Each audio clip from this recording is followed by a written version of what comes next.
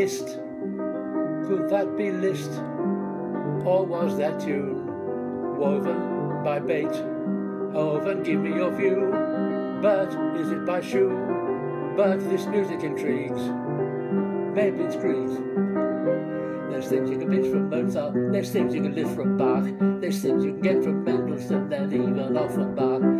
Things you can pitch from Mozart, there's things you can steal from Bach, there's even things, very few things you can get from Offenbach, from Offenbach. While as for the songs of Schubert, there's only one thing to do. You must study them, study study study study them, study them through and through sonata and sonatina.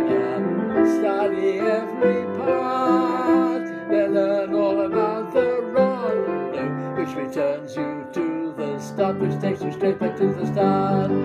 There's things you can get from Mozart, there's things you can get from Bach, there's things you get from Mendelssohn and even Offenbach. There's things you can get from Mozart, there's things you can see from Bach, there's even things, a very few things you can get from Offenbach, from Offenbach, that you can get from Offenbach,